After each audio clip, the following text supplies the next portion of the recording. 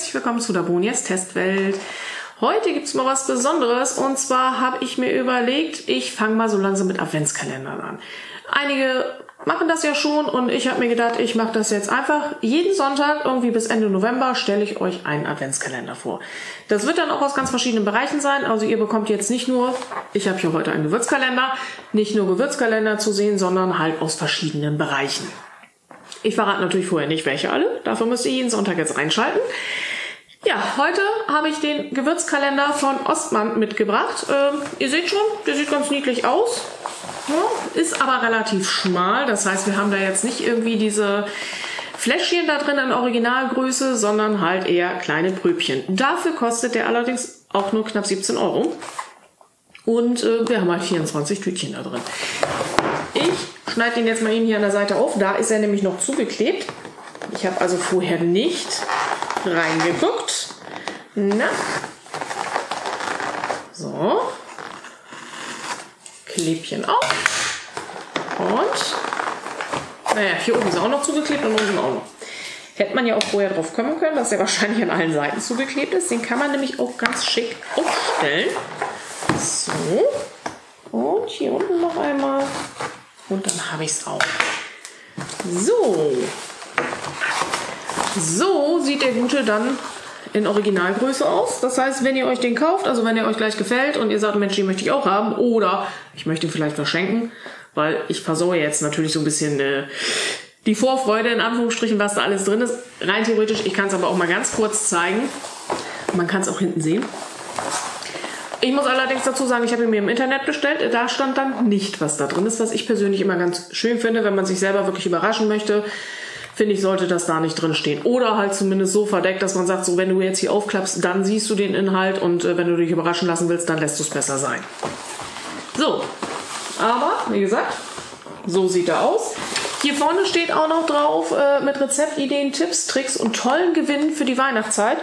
Da bin ich jetzt mal ein bisschen gespannt, was da denn noch so drin ist oder ob da wirklich nur die Gewürze drin sind.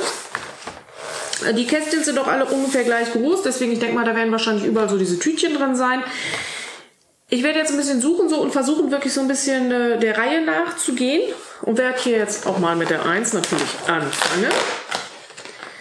So, das äh, standardmäßig für die Vorweihnachtszeit Plätzchengewürz. Ja. Haben wir da einmal. So, hier steht dann auch wirklich drin, Plätzchengewürz, tolle Gewinne und dein heutiges Rezept findet man dann bei ostmann.de unter äh, ostmann.de slash Adventskalender. Das heißt, ab 1. Dezember kann man dann auch jeden Tag wohl da hingehen.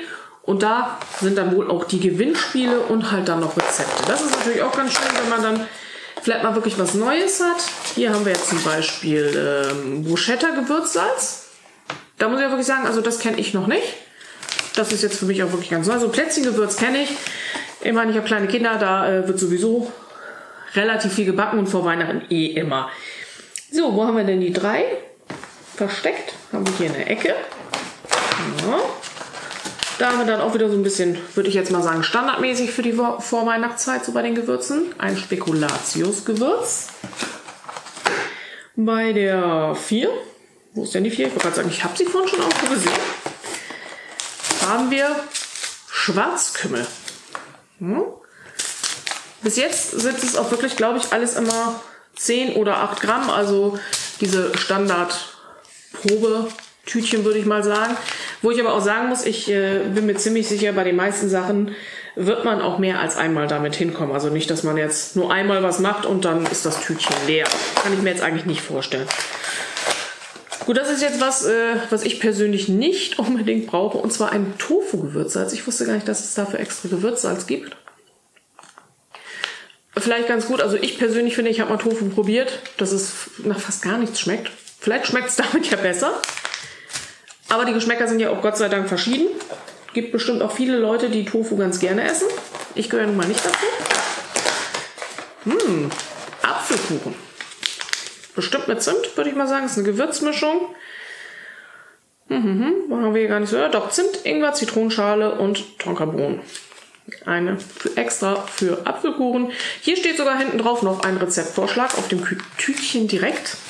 Na, welche Nummer hatten wir? Wir hatten jetzt die 6. Die 7 Keine 7, doch, ist bestimmt irgendwo. Ansonsten mache ich gleich mit der 8 weiter, die habe ich nämlich schon gesehen. Da ist die 7. Direkt über der 8.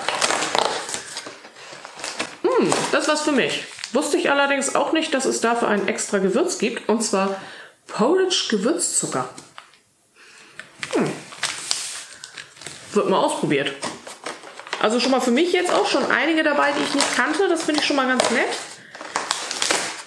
Oh gut, hier haben wir Schnittlauch und Röllchen. Einfach mal Gewürz, das kann man einfach immer gebrauchen. Würde ich jetzt persönlich so sagen. Wir machen das viel in Bratkartoffeln und so oder auch im Salat. Ach, nochmal Lebkuchen. Haben wir nicht schon den Lebkuchen? Nein, wir hatten den Spekulatius. Jetzt haben wir den Lebkuchen, auch typisch für die Vorweihnachtszeit.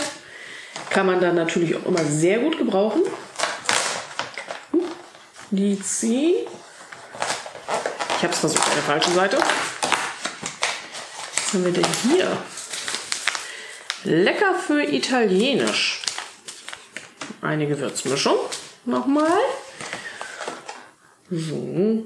Ich meine, Gewürzmischung, klar, sind es natürlich alles. Die 11. Oh, Glühweingewürz. Richtung Weihnachten auch immer sehr praktisch. Ja. Da oben haben wir den nächsten. Avocado-Gewürzsalz. Hm. Also was es nicht mittlerweile alles gibt. Also so Tomatengewürzsalz und sowas kenne ich ja, aber extra auch für Avocado. Na gut. Auch für mich was komplett Neues, kannte ich bisher auch noch nicht. Die 13. 13.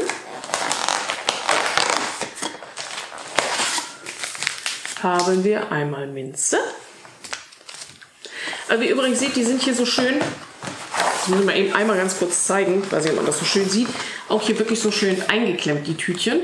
Das heißt also auch wirklich nichts hier mit verrutschen, dass eins in ein anderes Fach rutscht. Das finde ich auch schon mal ganz gut. Also wenn man das dann verschenken möchte, da rutscht hier nichts hin und her, wenn das alles vernünftig vorher einmal reingetan wurde oder in der Produktion vernünftig gemacht wurde. Oh nein, jetzt habe ich ihn einmal kaputt gemacht. Wir haben ein Winter-Crumble-Gewürz.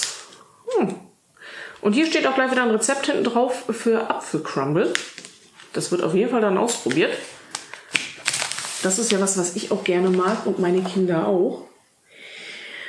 15, 15. Oh, das finde ich auch gut. Das kann ich jetzt eigentlich schon draußen lassen. so schon für die Herbstzeit.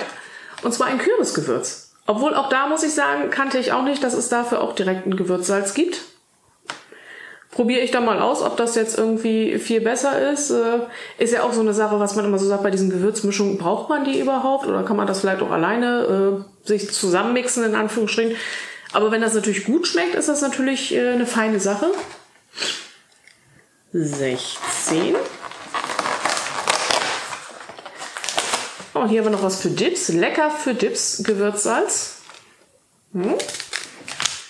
Aber ich muss auch sagen, ich finde die Mischung bis jetzt äh, eigentlich echt schön, muss ich wirklich sagen. So richtig schön ein bisschen zu Weihnachten, aber halt auch äh, so allgemeine Sachen für Dip, was man für einen Salat nehmen kann und so. Schokopfefferminzzucker. Hm, der ist bestimmt lecker. Also ich stehe auch so auf Pfefferminz. Das wird demnächst auf jeden Fall mal ausprobiert. So, 18, 18, 18. Hier haben wir wieder eine Gewürzzubereitung lecker für Indisch. Die 19. Da haben wir die 19.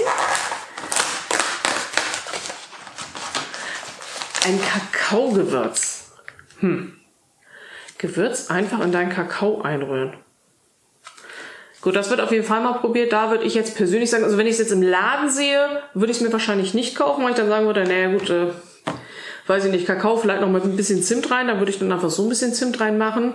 Hier ist jetzt Zimt, Ingwer, Kurkuma, Pfeffer, Tonkabohne und Muskatblüte drin. Werde ich auf jeden Fall mal ausprobieren. Äh, Finde ich sehr interessant. Wie gesagt, im Laden wäre ich jetzt, muss ich ganz ehrlich zugeben, wirklich so dran vorbeigegangen. Da hätte ich gesagt, nee, das äh, kaufe ich mir jetzt nicht.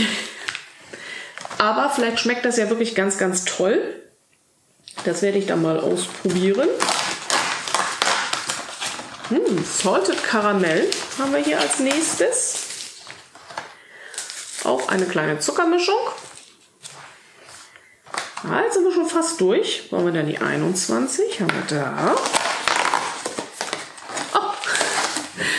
Eine Bolognese-Gewürzmischung. Das ist auch was, da wäre ich persönlich halt auch im Laden wirklich so dran vorbeigegangen, weil wenn ich meine Bolognese-Soße mache, oh, weiß ich nicht, die würze ich mal einfach immer selber. Aber wenn man es natürlich hat, werde ich es natürlich auch aufbrauchen, ganz klar. 22. Koriandersaat. Ja, da muss ich noch mal gucken. Da muss ich dann wirklich, hier steht jetzt auch nichts drauf. Na doch, gib deinem Kichererbseneintopf, deinem Curry oder deinem Kohl eine warme, würzige Note. Muss ich sagen, habe ich noch nicht mitgekocht. Werde ich dann jetzt äh, wohl demnächst mal machen. Die 23. Haben wir getrocknete Tomatenflocken. So, und wo haben wir die 24? Da, oben in der Ecke. Und in der 24 zu guter Letzt haben wir noch ein Bratapfelgewürz. So, damit ist der Kalender leer. Wie gesagt, so äh, finde ich ihn ganz schön eigentlich zum Aufstellen. Ne? Kann man sich den schön irgendwo hinstellen. Die Tütchen sind fest da drin, so dass da nichts runterfällt. Finde ich ganz gut. Äh, Preis-Leistungs würde ich sagen, ähm, wenn man schon Gewürzkalender nimmt, klar, es gibt natürlich auch verschiedene, wo dann Originalgrößen drin sind. Die kosten natürlich auch dementsprechend. Wenn man jetzt irgendwie mal mit Pröbchen, finde ich den echt super. Denn im Endeffekt haben wir jetzt äh, pro Tütchen noch nicht mal einen Euro. Das äh, finde ich schon ganz gut. Und ähm, so eine Tüte wird ja nicht sagen, mal hier haben wir jetzt das für den Apfelkuchen. Da brauchen wir ja nicht die ganze Tüte für. Oder beim Tofu-Gewürz. Oder auch hier bei den, für die Dips. Na, dann ist ja nicht gleich irgendwie komplett da das Tütchen leer. Also ich denke mal für 17 Euro, muss ich ganz ehrlich sagen, finde ich den gut. Also würde ich den auch wirklich empfehlen. Ich weiß nicht, wie ihr das seht. Könnt das ja gerne mal in die Kommentare schreiben, äh, ob ihr den jetzt auch so gut findet oder ob ihr sagt, uh, meins wäre das so gar nicht. Ja, ansonsten sind wir am Ende. Wenn es euch gefallen hat, freue ich mich natürlich über ein Like und äh, gerne könnt ihr auch den Kanal abonnieren, damit ihr dann die nächsten Adventskalender nicht verpasst. Wie gesagt, ab jetzt, jeden Sonntag, wird es dann mal ein geben aus verschiedenen Bereichen. Ja, wir sind am Ende. Ich hoffe, es hat euch gefallen und wir sehen uns dann beim nächsten Mal. Bis dann. Tschüss.